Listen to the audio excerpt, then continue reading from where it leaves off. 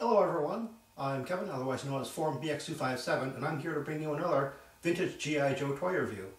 Today I'm bringing you the massive Headquarters Command Center.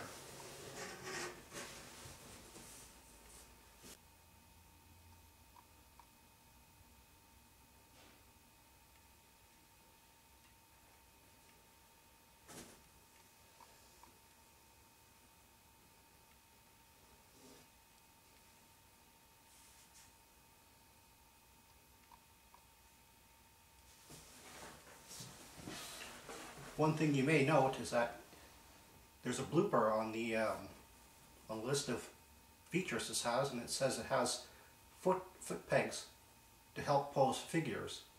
The headquarters came with no foot pegs, unfortunately. Now on the surface, um, the headquarters is a very long, sort of angular, open-ended uh, headquarters, um, kind of bland on the surface. So why is it so popular with collectors? And why did it become such an iconic piece of uh, G.I. Joe lore? Well, I'll show you why in just a moment. This is the reason why this thing is so popular.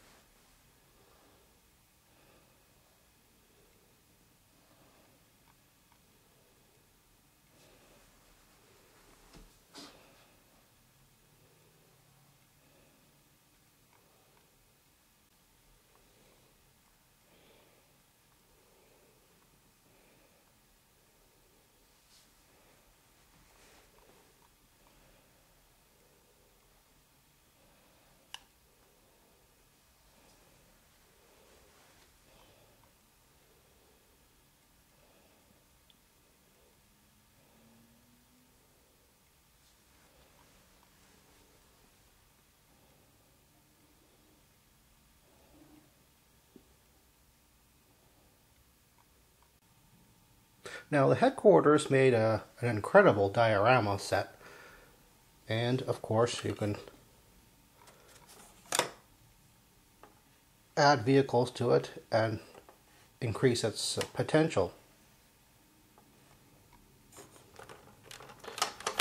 It doubled as storage and here I have actual file cards in here.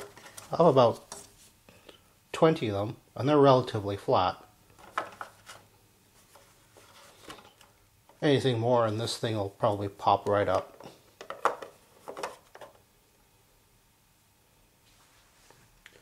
The main, this main section, the heavy equipment supply depot, could separate.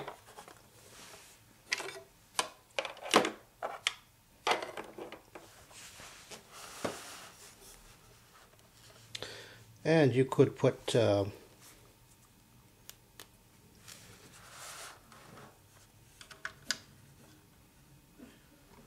weapons on the corners there. These are, I suppose, uh, rifle racks. These areas are throughways for the figures. And this area right here is actually the only potential area to use as a walkway in and out of the base. Here we have the equipment storage bay.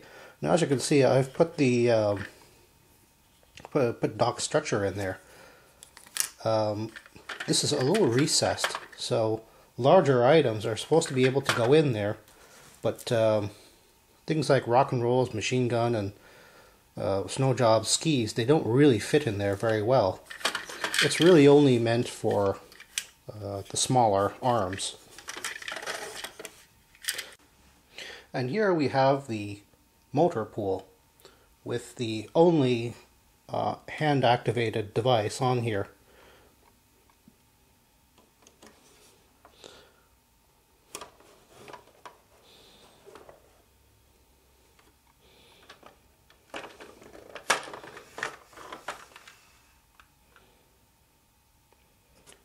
Just like the heavy equipment supply depot, The motor pool could also be detached completely.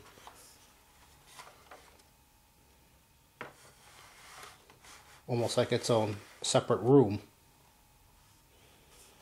One thing you may note is that uh,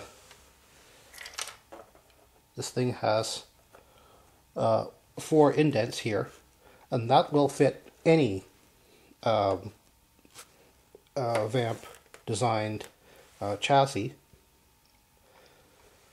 However, there's also this and these two. And it took me a while to figure this out, but those are actually meant for this. I'm not quite sure what Hasbro was thinking um, designing this thing for the ski mobile, but well, there it is. An extra little bit of engineering which is not mentioned on the box, not mentioned in any of the commercials, and not mentioned on the instructions. The helicopter pad is relatively uh, free of any type of molding, so it can accommodate a wide variety of different things. Not only the Dragonfly, which was uh, probably the biggest uh, uh, helicopter you can put on here, but it'll also accommodate things like the 1984 uh, Skyhawk as well. One interesting thing to note is that this uh, monitor right here is actually a remold of the CRT monitor on the G.I. Joe 1982 HAL. And last but not least, we have the stockade.